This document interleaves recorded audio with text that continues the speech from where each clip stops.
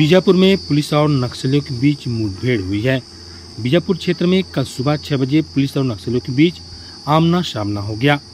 गंगालूर थाना क्षेत्र के अति संवेदनशील क्षेत्र पीडिया के जंगलों में आमना सामना हुई। 12 घंटे तक और उससे अधिक समय तक पुलिस और नक्सलियों के बीच फायरिंग होता रहा जिसमें 12 नक्सलियों को सुरक्षा बलों ने ढेर कर दिया। सुरक्षा बलों के द्वारा की गई इस संयुक्त कार्रवाई में बीजापुर दंतेवाड़ा और सुकमा से डीआरजी, एसटीएफ, कोबरा और सीआरपीएफ के जवान शामिल रहे। इस एंटी नक्सल ऑपरेशन को तीन जिलों के जवानों ने अंजाम दिया। घायल जवानों को एयरलिफ्ट के इलाज के लिए रवाना किया गया। बीजापुर एसपी जितेंद्र यादव ने इस मुठभेड़ की पुष्टि की है। किंतु इस मुठभेड़ में कितने नक्सली मारे गए हैं, इस बात की आधिकारिक पुष्टि अभी नहीं हो पाई है।